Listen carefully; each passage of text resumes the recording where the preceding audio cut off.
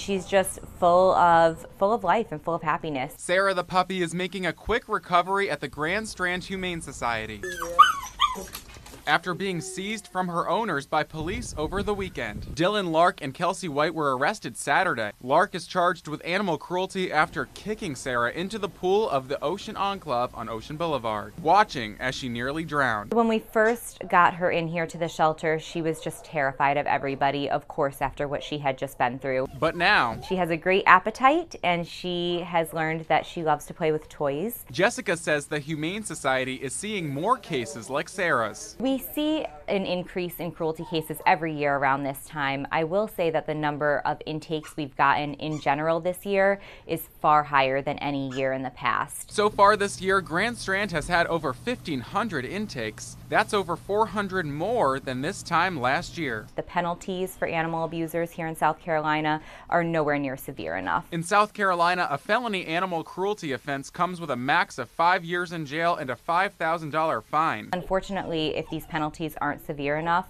there's nothing to stop them from doing it again. In Sarah's case, dozens already calling in wanting to adopt her. The social media, emails, and phone calls, we have to be over 50 so far. But before Sarah is put up for adoption, adoption, Dylan Lark and Kelsey White still have to appear in court.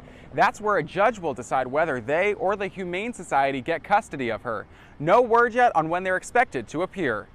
In Myrtle Beach, Matt Fortin, WBTW.com.